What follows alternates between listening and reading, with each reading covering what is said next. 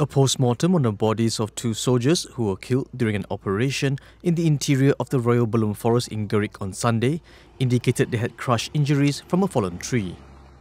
Perak Police Chief Datuk Mior Faridalathrash Wahid said the post-mortem on the bodies of 41-year-old Sergeant Muhammad Kamal Ramli and 31-year-old Corporal Muhammad Zaki Johari was conducted at the Penang Hospital Forensic Unit.